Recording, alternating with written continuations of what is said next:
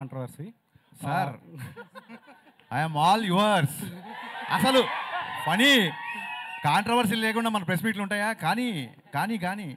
Sir ఏంటంటే మే ప్రతి cinema ప్రమోషన్స్లో ఎస్పెషల్గా లాస్ట్ రెండు సినిమా ప్రమోషన్స్లో మహేష్ బాబు గారితో సినిమా కోసం మీరు కొంచెం ఎక్కువగా ఇంట్రెస్ట్ చూపిస్తున్నట్టు తెలుస్తుంది. అవును.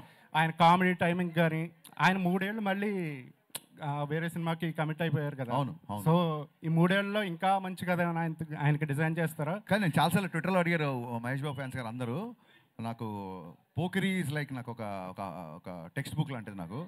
సో ఎప్పుడు సినిమా తీసినా ఎంతో పోకిరి లాంటి సినిమా తీయాలని అంతే. అని నేను ఎప్పుడు ఖర్చు చెప్పలేదు బట్ ఐ ట్రై హరిశంకర్ గారు. సార్. సార్ అంటే రవితేజ గారితో మీరు తీసేంత షాక్ ఏదైతే ఉందో ఇట్స్ లాంగ్ బ్యాక్ షాక్ కానీ మిరపకాయ కానీ అంటే ఆయనతో చేయడానికి ఎందుకు మళ్ళీ ఇంత గ్యాప్ తీసుకున్నారు? నేను నిన్ననే చెప్పానండి. నాకు ఫ్లాప్ సినిమా తర్వాత కూడా పిలిచి లైఫ్ ఇచ్చారు. ఇప్పుడు ఒక అన్నయ్య ఒక తమ్ముని జాబ్లో పెట్టాడు. అటు సక్సెస్ఫుల్గా ఉన్నాడు అనుకోండి. మళ్ళీ వెళ్ళి నాకు అది కావాలి ఇది కావాలి అడగకూడదు ఇంకా మన బతుకు మనం బతకాలి. పద్దాకి వెళ్ళి సినిమా అడిగితే కొంచెం మొహమాటంగా ఉంటుంది కదా. At the same time at the same time మధ్యలో రెండుసార్లు మేము అనుకున్న సినిమా మెటీరియల్ అవ్వాల సో ఆల్రెడీ మిరపకాయ ఎక్స్పెక్టేషన్ ఉన్నాయి కాబట్టి దాన్ని దాటే సినిమా తీయాలని ఒక చిన్న ప్రయత్నం ఆశ. దాటుద్దా లేదని మీరు చెప్పాలి. సో ఈ సినిమాకి ఆ స్కోప్ ఉంది కాబట్టి దీన్ని కుదిరింది అంతే. అంటే షాక్ కొంచెం మనకి కొంత తక్కువ టాక్తో వచ్చినా కూడా షాక్ అంటున్నారా? షాక్. మీరు చాలా మొహమాట పడుతున్నారు ఫ్లాప్ అది. సరే సార్. అది తక్కువ టాక్ వచ్చింది కొంచెం బాగుంది ఏదో చెప్తున్నారు మాకైతే నచ్చింది. Actual point of view Raviteja గారి సినిమాలో షాక్ మాకు నచ్చింది. ఆ షాక్ మీలాంటి వాళ్ళు రెండు రాష్ట్రాల్లో లేరు కాబట్టి నేను మూడేళ్ళు ఖాళీ కూర్చున్నా.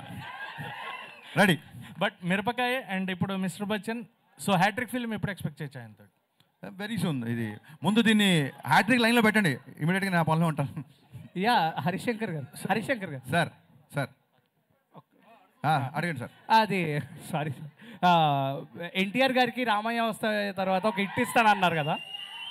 When we can expect that film ఎప్పుడు సీరియస్గా మళ్ళీ ట్రై చేయలేదు.